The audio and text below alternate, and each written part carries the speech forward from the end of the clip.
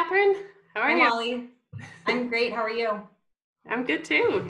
Um, I'm glad to see you because when we're at work, we always get to kind of sit right next to each other and talk about all the cool things that we're noticing around Gilsland Farm. And now that we're at home, we, we really can't do that. So I thought it'd be cool if we found some time to talk about what we're noticing from where we are right now in nature. Um, so where are you? Yeah, I'm right now in my apartment in Portland. So I'm up on the third floor actually. I'm sitting at my dining room table, which is in front of three big windows here on my street. So it's a really urban and residential area in my neighborhood. Um, there's a lot of old apartment buildings, some trees, not tons of grass, but it's a really nice sunny spot here that I can see a lot happen outside. How about you? Very cool. Um, I'm also at my dining room table. I live in Westbrook in my house, and one of the reasons we bought this house was because it has these big windows that look right out over the Stroudwater River. So our yard is really tiny, but we get to see a lot of nature from where we are. And we put up a bird feeder, so I've been watching birds come in and out. And uh, you never know what we're gonna see. Um, so while you're at your table, do you have any tools or rituals that you like to kind of keep in mind when you're nature watching at home? Um, I do. Yeah, I think kind of the idea or ritual of having a sit spot, a place that you spend a lot of time at and observe change over time, is a ritual that kind of this area has become for me. I spend a lot of time in the same spot looking out and noticing things that change, how the light changes, weather that comes through, things like that. Um, I also use field guides sometimes here. Um, I have several field guides on my bookshelf behind me that I sometimes grab, and I would say a nature journal is another tool that I that I try to use to record things. What about you? Any tools or rituals you use?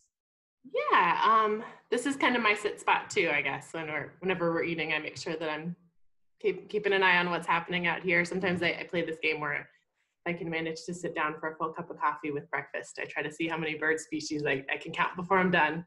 Um, and I usually have my binoculars close by. Sometimes Callum, my, my three-year-old, walks away with them, but they're usually handy. We keep some field guides too, and then uh, we have used the Naturalist Notebook, that five-year calendar journal from Nat Wheelwright. So we always kind of try to keep that filled in too. Cool. Um, so as you've been watching, have you noticed any changes or signs of spring lately? You know, I've been looking for changes on our trees on my street and in my neighborhood on these walks that I go on every day. Um, so I haven't seen any changes to buds much in town here yet.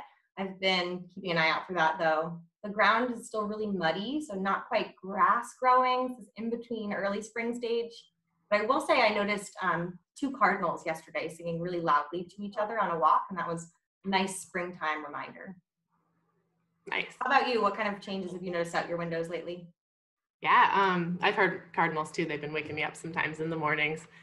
Uh, definitely with the bird feeder, we've been seeing a lot more activity, um, hearing some new birds. I've had a Carolina wren singing and coming to the feeder. The goldfinches this morning, we, we noticed we're getting really yellow, which is always a sign of spring that I look for. Um, the chipmunks are back. We saw a woodchuck last week, the first time I'd seen it this spring. Lives under my neighbor's shed. and um, yeah, also not much growing. We've got a lot of mud. And when I walk around the neighborhood, I've seen some buds and some crocuses, but my side of the street is the colder side, so not yet. Cool. What about has anything surprised you lately? Earlier this week, we had um, a big spring thunderstorm, and it was kind of the first thunderstorm we've had since probably the beginning of last fall. It feels like a long time ago because it's not such a winter thing. So that was kind of surprising to me. I really liked seeing the lightning. Any Mhm. surprises for you? Yeah, I had a new mammal, which I feel like doesn't happen that often. So last week I looked out under the feeder and the ground was moving a little bit. And I watched and a little mole poked its nose out and grabbed a seed and ran back. And it did it a, a couple times too. So I grabbed the binoculars and, and watched it. So yeah, that was new. That's really cool. Not what you expect under your bird feeder, huh? Oh, not at all. Well, it's great hearing what you've been seeing at home, and I hope we get to check in again like this. Mhm, For folks who might have been watching along, I hope other people have ways to share um, things that they've been seeing either in the comments here or to somebody else that they're catching up with on screen soon. Mhm. Thanks, everyone. Bye.